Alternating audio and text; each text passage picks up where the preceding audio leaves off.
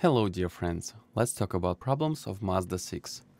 Mazda 6 second generation is pretty big, but not as big as Ford Mondeo or Opel Insignia. The distance of the axle is slightly larger than the Accord and Avensis. In addition, there are three body versions of on offer.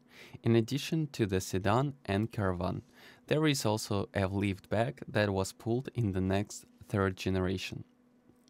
The Mazda 6 liftback is also a very good choice.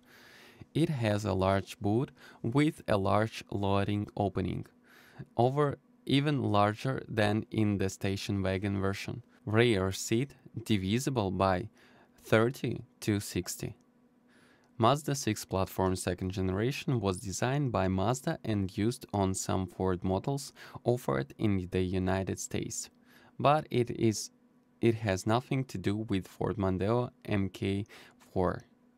The problem of corrosion, with, which is the problem of the first generation of the 6, has been solved. Only the window dividers on the rear doors corrode, which is rare in Japanese cars. Under the hood, not much has changed compared to the first generation.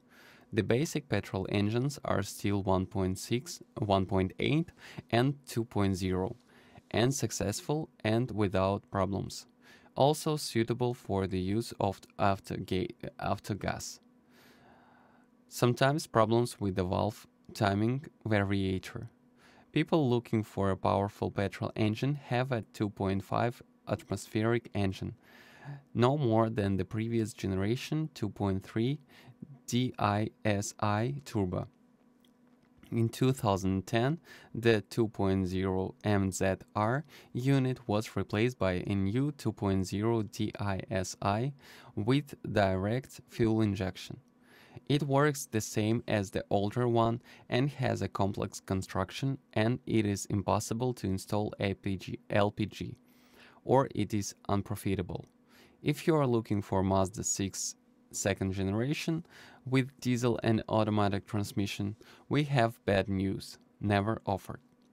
Also, as far as the durability of the diesel is concerned, it must be disappointed. The older 2.0 is known for recurring problems in the form of leaking washer under the injector. DPF also causes problems. We emphasize that the original tooth belt in 2.0 is used. It is best to use the original parts when replacing. The newer 2.2 is recognized for much fewer failures than the 2.0 but there are problems uh, here as well, and among them, the most famous is the stretching of the drive chain. Diesel 2.0 CD defects due to leaking pads under the CR injector. Exhaust gases enter the oil, which can cause soot to enter the lubrication system.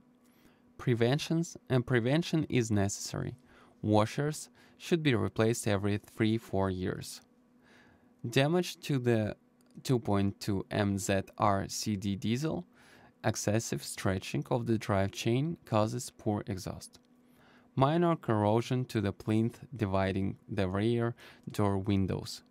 Increase in oil levels due to diesel diesel enters the oil during DPF filter regeneration. The differences in equipment versions are not large. They are limited to the presence of xenon headlights, leather upholstery, Bose sound system, and electric seat adjustment and heating. Every Mazda 6th generation GH has electronically controlled air conditioning at least when it comes to the European market. The basic variant of the equipment is Comfort, then Exclusive, Exclusive Plus, and the richest Sport. Even in the most expensive version, it was not possible to order a diesel configuration with an automatic transmission.